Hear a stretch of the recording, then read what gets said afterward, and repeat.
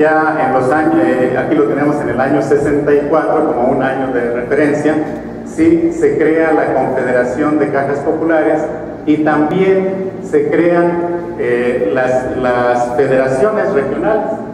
Sí, las federaciones eh, regionales cubrían también una función de agrupar a un número de cooperativas y darles eh, asesoría, eh, capacitación y luego también supervisar que se estuviera actuando adecuadamente.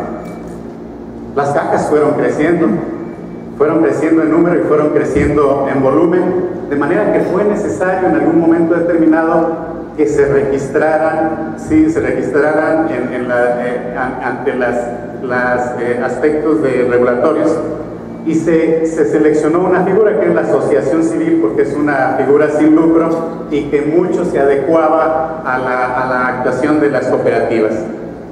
Así las cooperativas vinieron trabajando durante prácticamente 40 años hasta que en un momento determinado se emite una ley, una ley que las regulaba. Esta ley creó la figura que se llamó Sociedad de Ahorro y Préstamo ¿Se acuerdan que un tiempo la caja se llamaba Caja Popular Mexicana Sociedad de Ahorro y Préstamo? Sí.